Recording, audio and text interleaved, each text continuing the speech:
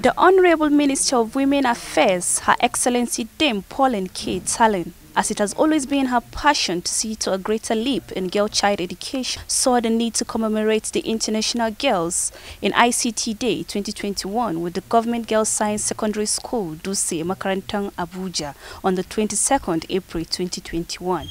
The theme for the commemoration tagged Connecting Girls Creates Brighter Future, according to the minister, is appropriate as girls' participation in information communication technology will add value to the nation and encourage women to take lead and excellent space in science and technology aspects. Dignitaries alongside Her Excellency and representative from NITDA, UNFPA, National President for Women in ICT FCT Chapter and the Nigerian Communication Commission, Digital Bridge Institute, encourage the pupils in the school on the need to partake and take professional part in ICT as the world is fast changing totally into a global village.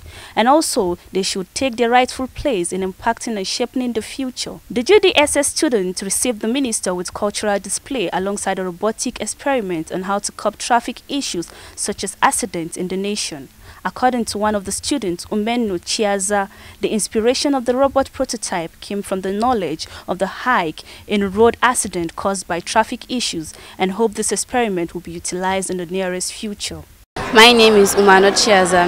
I'm a science student. I'm in SS1D. What inspired me is the death rates of motor accidents across the world is really disturbing me because people die yearly when they are moving in vehicle, when they are when vehicular movements occurs. So what inspired us with this robo traffic is to control the traffic to reduce the death rates. The minister during her speech finally called on all stakeholders to collaborate with the ministry in creating awareness to girls to follow a career path in information communication technology. The technology drives the world. What we cannot do, we want our children to do it. And I can see that you can. Say, yes, I can. Do you believe in yourself that you can do it? Yes. Okay. The ball is in your court. The opportunities are there. Government is ready to support the uh, girl child, particularly in this field of the sciences. The girl child is the greatest asset that this country can have. And the education of the girl child is given all the necessary attention I'm here today to appeal to you to do all that you can to take your studies more seriously because you are the future hope of this nation. You are the future mothers that will bring up the future leaders of this country. And without education, you can't perform that role effectively. The impact of science, technology, engineering, and mathematics to the nation's economy is no doubt enormous. Education creates all the critical thinking that the girl needs. The federal government of Nigeria, through all relevant agencies, we have NITDA here, we have uh, NCC here, the entire parastatals of Ministry of Communication and Digital Economy are here with us to celebrate with you. This is for you to know that government is giving so much attention to the education of the girl child in ICT.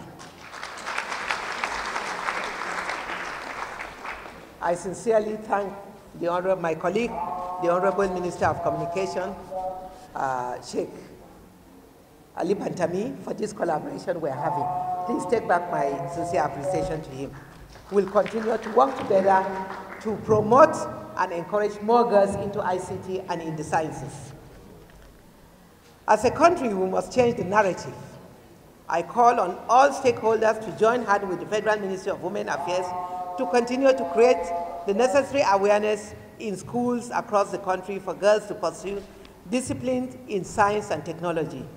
The role of the parent and teachers in ensuring that children, especially the girl child, are properly guided to engage in STEM education cannot be overemphasized. Parents should start early to dismiss the notion among the girls, among children, especially the girl child, that science is tough for girls. No. At least you can see that your science teachers, we have girls, well, we are women. So if science is, tough, we won't have a female teacher teaching mathematics and other science subjects. If she can do it, yes, you can.